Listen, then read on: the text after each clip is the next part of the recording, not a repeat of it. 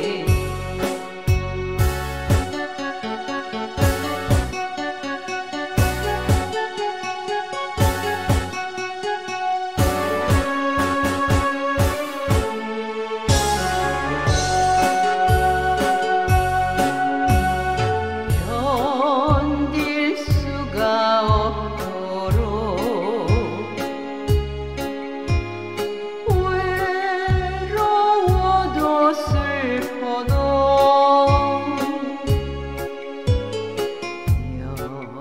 여자이기 때문에 참아야만 한다고.